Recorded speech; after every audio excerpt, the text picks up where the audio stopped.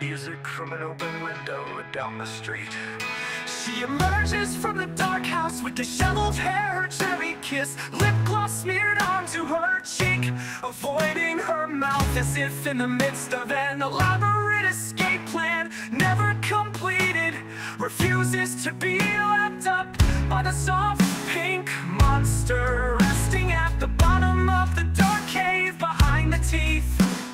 The monster who lies bleeding from tiny puncture wounds on its slippery venous underbelly. Rivulets of black liquid drip down her face and stain her barely. There virgin white baby tee. She doesn't realize it, but the tears are running from her. Their escape plan, considerably less complicated than that of the lip lacquer, succeeds. Her underwear is still clutched tightly in her shaking hand as she walks disjointedly down the dimly lit sidewalk. She cannot grasp what has happened, so the blame is taken out on her soiled undergarments crumpled within her balled fist.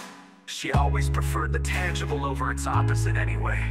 Why did he do this to her? Did he not love her? All these questions spill from her Abused mind in unison with the tears from her eyes Liquid black confusion Her yellow right thong Sandals slap softly on the cracked cement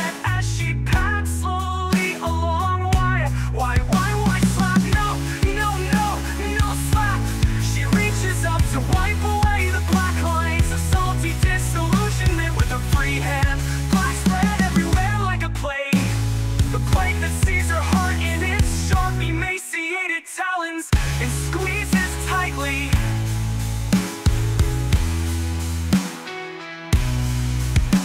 She sniffs to clear her button nose and sighs to clear her mind. Both operations fail. Her only accomplishment is the involuntary blanching of her knuckles as her panties are squeezed tighter and tighter, pressed into the palm of her hand until they disappear. Suddenly she stops, the wind washes over her small body and ruffles her sheer pink skirt. A newborn flower swaying in the spring breeze. She lifts her aching head as if catching the scent of her impending doom. No, not her doom, her salvation, my cologne. She turns her baby doll face in my direction and fixes her eyes on my silhouetted figure beneath the street lamp. I smile.